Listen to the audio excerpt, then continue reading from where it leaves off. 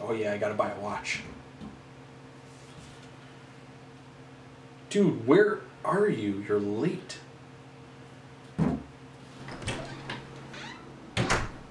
Okay, ready for examination.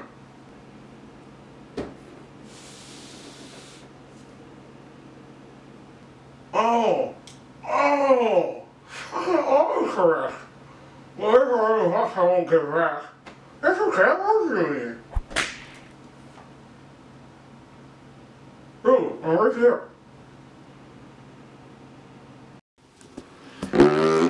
Welcome to the Masters of Boarddom, where apparently nothing is off the table. Literally nothing!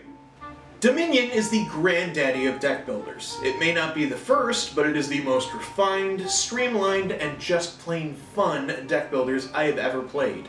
It is addicting, it is mentally challenging, and it is always satisfying, win or lose. When it comes to having a customized game layout, Dominion is your go-to game. It's a build your own deck builder deck builder. There's plenty of choices, whether you use the randomizer cards, choose from a prefabricated list, or just choose your own cards. The game's unique and different every single time.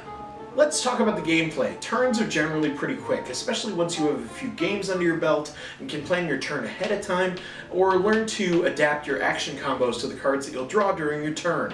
The game constantly rewards you for this. Long action combos can make some turns feel epic, which in turn allow you to get more cards you can combo with. It's a positive feedback loop in board game form, and I love it!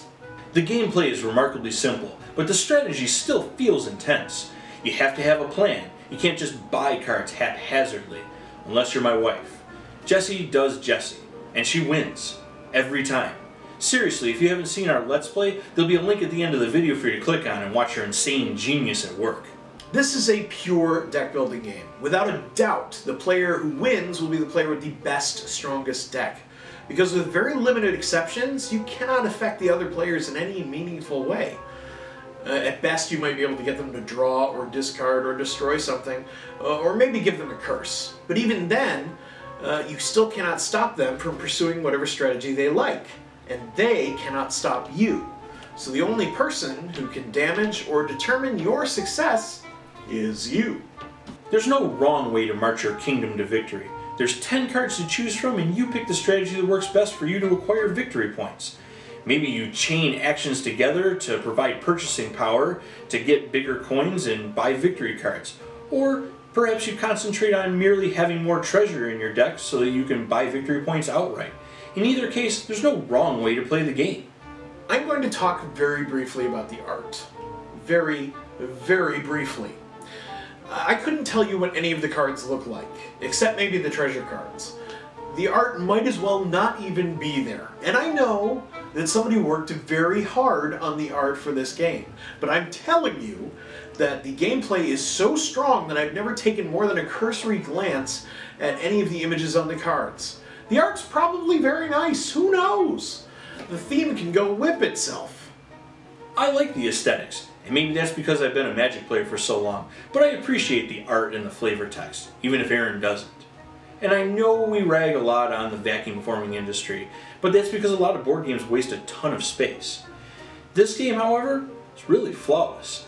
It's well divided and labeled for easy sorting, and who doesn't like convenience? The cards are well made. This is the most thoroughly and frequently played game that we have reviewed so far.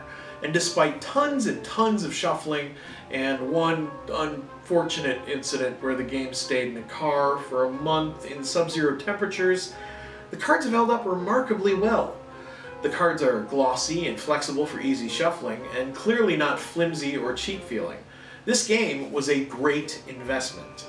In fact, we don't often talk about the companies behind the games, but I just wanted to take a second to point out that every game that I own from Rio Grande Games has been well made and a lot of fun.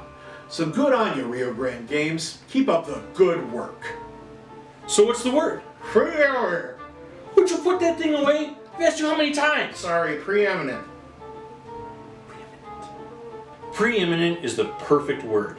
Dominion is the superior deck building experience. And with nearly a dozen expansions, it's endlessly replayable. And it's unique each and every single time. And it's a blast. I've probably played about 100 games with my wife, and I've won about three of them. And despite that, I will never turn her down for a game. Even in defeat, the game is endlessly enjoyable and gratifying. If Dominion has one flaw, it's that the theme doesn't matter, uh, and in my opinion, doesn't fit the game as well as it could. Dominion is a game about a monarch building his empire, but I have never felt that way while playing this game. I feel more like a, an architect or an inventor, uh, building a precision engine with new parts and different strategies with every outing. And regardless of whether I win or lose, Dominion is extremely rewarding every time. I can't say that about every game I own. And that's the game. I'm CJ. And I'm Aaron. Please dominate that like and subscribe button and submit to watching the rest of our videos. The safety word is masters. Hello, I'm Aaron from the Masters of Boarddom. When you finished liking and subscribing, we'd appreciate it if you would click on one of these two videos here. Uh, that's because every click uh, helps uh, the people in need, who are currently me and my friend CJ, very much in need of your clicks.